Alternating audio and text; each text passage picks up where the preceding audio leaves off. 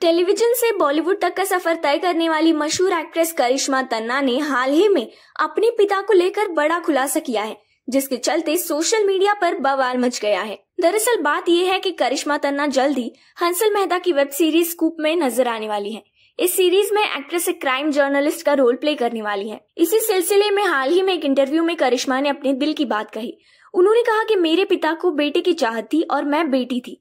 उन्होंने बताया कि कैसे उनके और उनकी बहन के प्रति, उनके दादा दादी के अलग अलग व्यवहार ने उन्हें मज़बूत बनाया और उन्होंने घर पर इस सेक्सिज्म से लड़ने का फैसला किया। उन्होंने कहा, जब मैं पैदा हुई थी, मेरी मम्मी ने एक हफ़्ते तक मेरा चेहरा नहीं देखा था।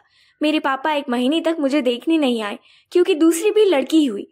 जब मेरी माँ ने मुझे बताया तो मेरा दिल टूट गया। ऐसा नहीं है कि मेरे पिता मुझसे प्यार नहीं करते थे। ऐसा इसीलिए था क्योंकि उनकी दूसरी संतान भी एक लड़की थी और परिवार का दबाव था, इसीलिए वो मुझसे मिलने नहीं आए। लेकिन इस बात ने मुझे अंदर से भी तोड़ दिया।